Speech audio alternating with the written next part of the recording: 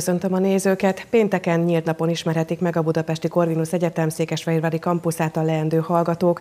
Vendégem a stúdióban Mezőszergyörgyi Dávid, aki a rektori megbízottja az intézménynek. Köszöntöm a stúdióban. Közi csókom, köszöntöm a nézőket. Hát ahogy elmondtam, ugye pénteken lesz ez a nyílt nap. Mi mindent vár, várjanak azok, akik oda látogatnak?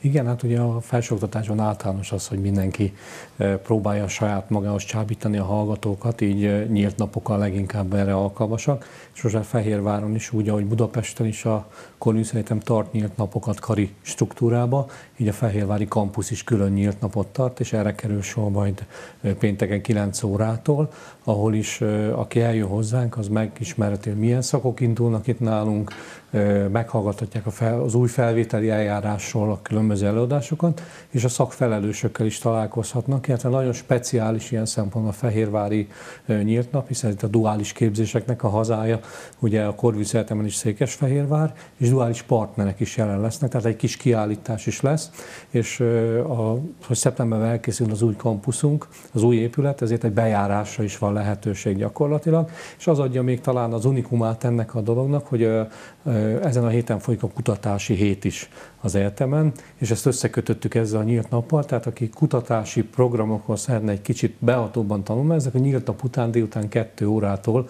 arra is van lehetőség, hogy két előadást meghallgassanak kutatóktól, hogy mik azok a tudományos területek, ahol éppen folyik munka. Ugye mondta, hogy a szakokat ismerhetik meg elsősorban. Milyen szakok vannak az intézményben? Igen, ebben nem történt változás. Ugyanazokat a szakok indulnak, mint előző évben a Székesfehérvári kampuszon. Három alapszak, két mesterszak és egy szakirányú továbbképzés.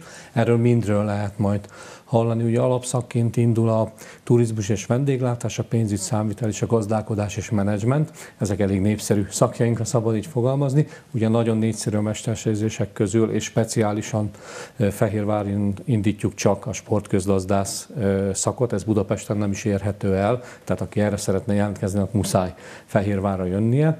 Illetőleg a regionális és környezeti gazdálkodás szak is indul, ez levelező képzésben, mesterképzésben, és van egy agrobusiness manager nevű képzésünk is, ez szakirányú továbbképzés. Itt már a végzetteknek kínálunk egy két éves kiegészítő programot, ahol az agráriummal ismerkedhetnek, az élelmiszeriparral. Melyiket mondhatjuk a legnépszerűbb szaknak egyébként? Én azt gondolom, hogy az unikális volt miatt is a sportközgazdász az, amelyik, és Fehérváron speciális, amelyik ilyen szempontból népszerűen tekinthető. Alapszakjaink közül szabad azt mondanom, hogy a gazdálkodás és menedzsment, amire a legtöbben szoktak jelentkezni. Ezt követi a turizmus és vendéglátás és a pénzügy számvitel. Körülbelül, hogy a tavaly is egy száz fővel indult el ez az összes szak. Mi arra számítunk idén, hogy ennél egy picit talán bővebben el tudunk majd indulni ezen a hat szakon, amit indítunk szeptember 1-től Fehérváron. Biztos, hogy sokan azért is gondolkodnak a Budapesti Corvinus Egyetem Székesfehérvári kampuszában a továbbtanulás szempontjából, mert hogy ugye itt nagyon jók a duális képzések. De miért is jó az, hogy duális képzésben vesz részt a tanuló, vagy a hallgató? Ugye egyrészt, aki a Corvinus Egyetemen szeretne tanulni, az csak itt tud duális képzésben, tehát Budapesten is indítunk duális szakot, tehát ez, ez én azt gondolom, hogy nagyon fontos információ. A másik pedig ugye a duális képzéseknek a jellemzője az, hogy már az iskola idő alatt is a hallgatók fele időt az iskolapadban, fele időt pedig annál a duális partner cégnél töltik, akiknek már több mint 40 van velünk kapcsolatban. Ugye nagyon jó ez a, én azt gondolom mindenkinek ez a duális képzés jó. Egyrészt jó az oktató intézménynek nekünk, oktatóknak, hiszen a gyakorlati tapasztalat bizonyos ismeretanyagokat, vagy bizonyos képességeket a vállalatnál szereznek meg ezek a hallgatók, vagy a partnernél, akinél ott vannak. A másik jó a vállalatnak, hiszen abban három évben vagy két évben, amíg nála van a hallgató, megismeri, és hát ez nem titok, hogy aki duális képzésen részt vesz, azoknak a nagyobb hányada az ennél a vállalatnál fog a későbbiben elhelyezkedni, és akkor itt jön ugye a hallgatónak az érdeke is. Egyrészt ugye szerez egy munkatapasztalatot, ami mindenképpen jó, hiszen amikor állásra jelentkezik, rögtön elvégezve az egyetemet, akkor be tudja írni, hogy két év munkatapasztalat, vagy három év munkatapasztalata is van, amit a munkáltatók előszeretettel előírnak, illetve megkövetelnek. Másrésztről, hogyha jó dolgozik azon a helyen, akkor általában ajánlanak neki állást is. A harmadrészt pedig a duális képzés, van egy duális képzési ösztöndíj. Azaz a hallgató azért a munkáért, amit elvégez a vállalatnál, azért pénzt is kap. Ez az összeg most jelen pillanatban 70-80 ezer forint körül nettót jelent, ami mondhatni azt, hogy nem nagy összeg, de én is, amikor egyetemista voltam, örültem volna, hogyha ilyen jellegű kiegészítést kapunk, és az is tervben van, azt el lehet mondani, hogy akár ez a minimálbére is ki fog egészülni majd szeptember 1-től. Én tudom, hogy van ilyen szándék, bízunk benne, hogy ez eddig meg fog, meg fog történni, úgyhogy nagyon sok előnye van annak, hogyha valaki duális képzés választ, arról nem beszél, hogy Fehérváron teheti ezt meg. Mi mindig el szoktuk mondani, hogy ennek van egy családias jelleg, ennek a kampusznak. Egyrészt ugye Fehérvár az kisebb, mint Budapest, de ez nem a kapacitását illeti, hanem a méretét alapvetően.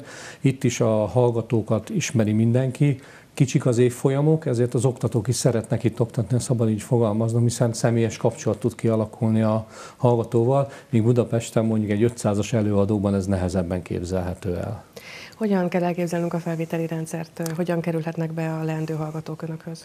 Igen, ugye a felvételi rendszer az a sajtóban is, több sajtóorgánumban országosan is ugye megjelent, hiszen idén lett volna először az, hogy nyelvvizsgához kötött a felvételi. Ez ugye eltörlésre került, tehát nem kell idén sem középfogú nyelvvizsgával, teljesített középfogú nyelvvizsgával rendelkezni. Természetesen azt meg kell szerezni a képzés végéig. Tehát aki be is kerül, azért annyira ne örüljön, hiszen ezt azért abszolválnia kell, hiszen nem fog diplomát kapni. Viszont az maradt a rendszer, hogy emelt szintű érettségit kell teljesíteni egy vagy két tárgyból. Ez attól függ, hogy melyik szakra jön az illető ennek megfelelően kell emelt szintű érettségit tenni. Ugye nálunk alapvetően, hogy gazdálkodás tudományról beszélünk, alapvetően mondjuk a matematika az, ami lehet emelt szintű érettségi, de pont ezen a nyílt napon tudjuk elmondani azt, az egyes szakokon mik lesznek azok a elfogadottak, amelyeket kell tenni. És ugye a normál pontszámítás zajlik itt is, ugye maximálisan 500 pontot lehet szerezni az eljárás során. Ugye ez a érettségiből áll össze, illetőleg a különböző teljesítményekből, különböző versenyeredmények, nyelvvizsgálatok, vizsgáig lehet pluszpontokat szerezni, és így áll össze az a pontszám, amilyen lehet. Ugye a Budapesti Korvinus el lehet azért mondani, hogy átlagosan 400 pont az, amivel be lehet kerülni. Fehérvár a duális képzésben is e körül van, de nem riasztani kell én senkit attól, nyugodtan adja be ide a jelentkezését, akár első vagy második helyen is, hiszen hogyha véletlenül nem sikerül, akkor még a többi egyetemre is bejuthat. Mindenképpen érdemes próbálkozni szerintem, aki szeretne mindenképpen a Korvisz Egyetemen tanulni.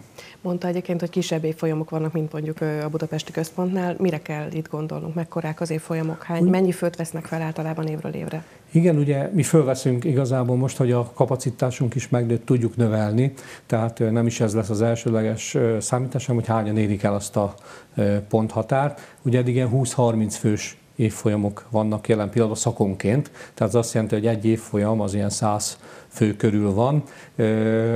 Ez egy nagyon jó kézben tartható, tehát én Budapesten is oktatok az eltemen, körülbelül ekkor csoportokat szoktunk, hogy a gyakorlati képzésről van szó bontani, ahol személyesen is tudunk a hallgatókkal együttműködni. Jó, már nem a frontális oktatás a, a leginkább elterjedt, hanem ugye csoportmunkában dolgozunk, együtt esettanulmányokat dolgozunk föl, és az a kis létszám lehetőséget arra az oktatóknak ne csak a gyakorlati foglalkozás, hanem előadás keretében is tudjanak speciális feladatokat adni. Arról nem beszélve, hogy ugye itt a kapcsolatok a hallgatók és az oktatók között, illetve csak a hallgatók között is nagyon jó, hiszen egy ilyen kis számú évfolyamnál, mint egy gimnázium osztály, az ember emlékezni fog arra, hogy kivel végez ez egy 500 fős évfolyamnál azért már nehezebben képzelhető el. Mit lehet tudni az oktatókról egyébként? Ugyanazok tanítanak itt is Fehérváron, mint akik Budapesten? Igen, ez is egy specialitás, hogy amikor a Kolumbius Egyetem megkezdte itt a működését, most már a negyedik éve, akkor feltétel volt az, illetve a Kolumbius Egyetem is mondta, hogy ugyanazt az oktatási színvonalat kell biztosítani. Hát ezt mi úgy tudjuk, egyrészt az infrastruktúrális lehetőségek, a szabad ebben a médiában elmondani, ezek jobbak, mint a budapesti kampuszon, hiszen újabb épületekről van szó. Az oktatók pedig ugyanazok, tehát aki mondjuk egy pénzügy számítal órára jön be ezen a Fehérvári kampuszon, ugyanaz az, oktató, ugyanaz az oktatótól fogja hallani, mint aki Budapesten elmondja, úgyhogy ebben semmiféle különbség nincs, az oktatás színvonal az teljesen megegyezik ilyen szempontból, függetlenül, hogy valaki Budapesten vagy Székesfehérváron hallgatja ezeket a tárgyakat. Vannak bizonyos változások is egyébként így az intézmény életében. Mire számíthatnak azok, akik oda jelentkeznek majd? Igen, ugye a Korvisz most már nem állami fenntartású egyetem, hanem egy alapítvány fenntartásával vannak, kvázi magánegyetemként mondható. Ugye nagyon sokszor félelem volt az, hogy ez majd megnehezíti a Corvinusra belő bekerülést. Egyrészt az imént beszéltünk róla, hogy a pontszámítás ugyanaz, tehát semmi különbség nincs az előző évekhez képest, illetve nincs különbség a többi oktatási intézményhez képest. Ugyanabban a felvételi eljárásban kell részt venni, és ugyanúgy történik a ponthúzás is, mint ahogy eddig volt. Amiben különbség van, az, hogy az államiak finanszírozott helyek helyébe egy alapítványi finanszírozás lép be. Ez azt jelenti, hogy itt is lehet ugyanúgy ö, ingyenesen tanulni. Erről nyílt napon természetesen részletesen is fogunk beszélni. Talán röviden annyit lehet róla mondani, hogy aki bejelöl a Korműszeretem Fejveli kampuszát, akkor egy A betűnél ugyanúgy X-et kell tenni az elektronikus felvételi papíron, hogy egy államinak finanszírozott helyet szeretne, ami egy Corvinus ösztöndi lesz, ami maximum a képzés ideig adható, mondjuk egy 7 fél éves képzés esetén 7 fél évig, alapvetően a tanulmányi eredménytől függ, 3,8-et el kell érni eh, mindenfél évben, és akkor működik ez a dolog. Ami különlegesség ebben, hogy ez viszont nem koptatja az állami keretét valakinek, ami 12 fél évre szól. Tehát, hogyha valaki végez a Corvinuson egy képzésen, akkor ő megvan neki a 12 fél éve, tehát egy másik állami egyetemen, ha nagyon ambiciózus, akkor párhuzamosan is végezhet ilyen tanulmányokat, ha nem, akkor ezt követően is, akár mesterszakra, akár egy másik alapszakra is el tud menni, mert a Corvinus ösztöndi ezen kívül helyezkedik el. Ugye mondta ezt a 3,8-as átlagot, amit azért el kell érni, hogy mondjuk valaki ösztöndíjas lehessen. Ez azt jelenti, hogy akkor az első fél évben, ami még nincsen meg ugye a, a, az a bizonyos átlag, akkor azért meg kell finanszíroznia magának előre, ugye a diáknak ezt a költséget? Hál' Istennek nem, hiszen erre is gondoltunk természetesen. Jogos a kérdés önnek is, hát aki még nincsen teljesítmény, ezt hogyan nézzük. Úgy nézzük, hogy a felvételi pontszámok alapján lesz majd, attól függ, hogy hányan jelentkeznek, mi lesz a felvételi pontszám, és a legjobban teljesítők már az első fél évtől is tudnak kapni ösztöndíjat, és ez fél évente felülvizsgálatra kerül természetesen, és ez alapján lehet majd bekerülni, de hát ki is kerülni a Corvinus ösztöndi kereteiből. Tehát az azt jelenti, hogy aki ne csüggedjen az aki véletlenül nem kerül be, mert az első fél évte egy felülvizsgálat során újra ösztöndíjas lehet, vagy, vagy ingyenessé válhat neki a képzése. Ugye nem sokára itt van ez a pénteki nap, amihez kapcsolódóan nagyon sok program van. Olvastam benne, hogy hát van benne egy ilyen felkészítés is azoknak, akik leendő diákok. Mit is rejt magába ez a felkészítés? Hogyan tudnak készülni a leendő hallgatók, hogy oda járassanak? Igen, a Kolvisz több ö, ö, diák szervezet is működik, a Hallgató Önkormányzat vagy a Korvisz Halba Kaliák Klub, de a Studium Generále is működik, amely hallgat, első, másodéves hallgatókból áll, és ők már az, az előző fél évtől, októbertől elkezdték azt a felkészítést, hogy matematikából, fizikából, azokból a tárgyakból, amelyek nálunk akár emelt szintű érettségre szólnak, azokból ők minden hétvégén ingyenesen a hallgatók segítik a diákokat. Ebben most is be lehet még természetesen kapcsolni, hiszen érettségi majd csak ennek a fél évnek a végén lesz, és ezzel tudjuk segíteni azt, hogy valaki jobban tudjon teljesíteni, több pontszámot tudjon elérni, és ezek a képzések ingyenesek. A nyílt napon erről is szó lesz, a hallgatói képviseletek is bemutatkoznak, tehát én azt gondolom, hogy egy nagyon vegyes dolog lesz, és abban a három órában, amíg valaki ott van ezen a kampusztúrán, akkor megismerti a képzéseket, a felvételi eljárás, tud beszélni hallgatókkal, tud beszélni a szakfelelősökkel, és ők is itt lesznek. Tehát azok, akik konkrétan oktatnak ebben a rendszerben, és arra is van lehetőség ebben a dologban, hogy egy kampusztúrát tegyenek, tehát meg tudjuk mutatni az épületet magát, a, a kollégiumi lehetőségeket, illetve azokat az egyéb lehetőségeket, amik a diák élethez kapcsolódnak, és ugye nem csak a diákokat, hanem a szüleiket is várjuk erre természetesen.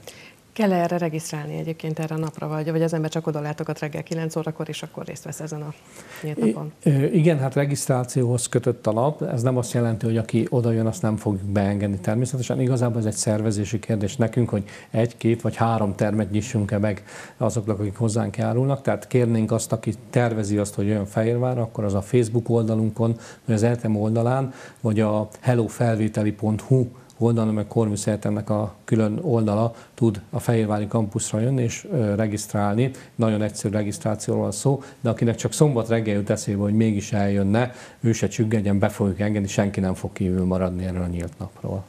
Ugye egy ilyen nagyon kis kompakt dolgol, dologgal is készülnek. Mi mindent vihet haza az, aki oda látogat? Nyilván azon kívül, hogy ismereteket szerez a, arról, hogy mi minden folyik ott. Igen, mi bízunk abban, hogy nagyon jó élményt fog először is hazavinni, és az az élmény hogy meghatározza azt, hogy a Corvinus Egyetemet jelölje és a Fehérvári kampuszt a felvételi során. Természetesen készülünk előadásokkal, készülünk információs füzetek, és ön is, ami önnél is van, ez a kis tájékoztató kiadvány, ez minden, ki, aki oda látogat hozzánk, a képzésekről, a felvételi eljárásról fog hozzá kapni, és ezt egy kis mappába raktuk bele, hogyha középiskolásként elviszi magával az iskolába, akár a dolgozatot is belerakhatja, és hogyha bármilyen információ van szükség, akkor ezt nagyon gyorsan eléri, és meg tudja nézni február 15-ig is, de akár utána is, hogyha éppen nem jut eszébe valami, akkor ez nem segíteni fog neki ebbe. Nagyon szépen köszönöm, hogy a vendégünk volt, és ugye február 15-én van a jelentkezési határidő. Most pénteken pedig lehetőségük van arra, hogy a diákok, a leendő hallgatók megtekintessék és megismerhessék a Budapesti Korvinusz Egyetem Székesfehérvári kampuszán a lehetőségeket délelőtt 9 órától egészen délután 2-3 óráig. Köszönjük szépen a figyelmüket, viszontlátásra!